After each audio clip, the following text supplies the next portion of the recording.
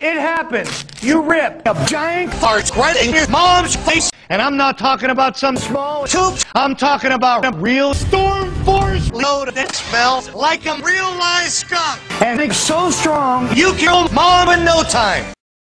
Now that's super strong. Farts. Oh my, oh my, oh my, oh my, oh my.